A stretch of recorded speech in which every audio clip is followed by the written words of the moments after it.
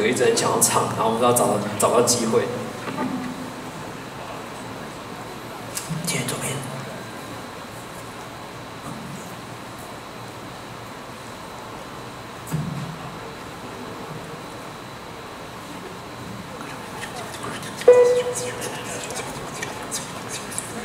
那个在清源准备的时候，来帮他工商一下哈。那个他外面有一摊他的摊位，就在 Uber E 谢谢阿旁边。对，在 Uber 一隔壁。然后，如果大家对他的就是专辑啊，或者是他的明信片，或者是他的个人有兴趣的话，等一下可以到 Uber E 旁边。然后，如果还没有加入 Uber E 的，也可以。把 Uber 也是开始帮 Uber，把人家因为你刚加了，对不对？对，因为我等一下要去加 Uber E，可以加到一半领那个保温杯这样，加到一半被抓来。对，那边很有趣哦，那边可以玩积木，十五秒钟可以搞完积木的话，嗯，搞完积木，搞完积木的话呢，你就可以获得一个精美的，好，不要再说了。好，那个接下来这首歌呢，其实跟就是日常生活都很有关系，它叫《给我你的钱》，啊，就是给我你的钱。然后还有那个动作，你等下要唱副歌的时候就把手伸出来，然后看隔壁这样，可以吗？会哦。好，那它副歌很简单，我教你们唱一次，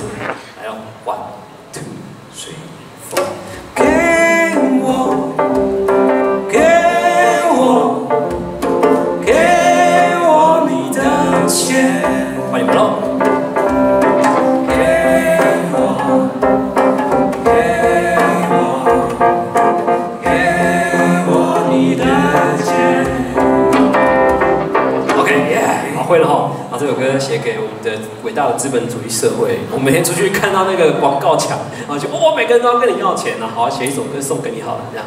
那等一下呢，就欢迎大家到我的摊位，然后给我你的钱。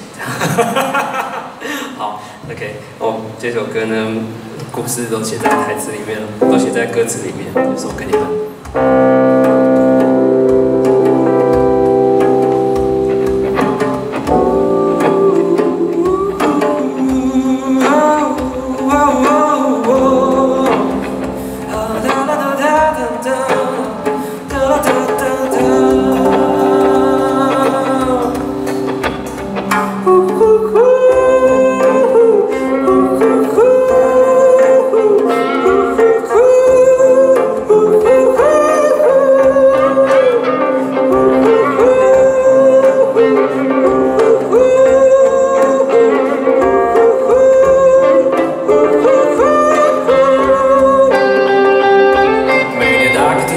总会有人告诉你，越多的钱能给你越多的开心。你拼了命的赚钱，再拼了命的花钱，没花到钱还对不起自己。打开尘封抽屉，还留着几只手机，满载的衣柜还挂着几件大衣，但那些都不重要。新产品会报道，跟不上的流行会被别人唾弃。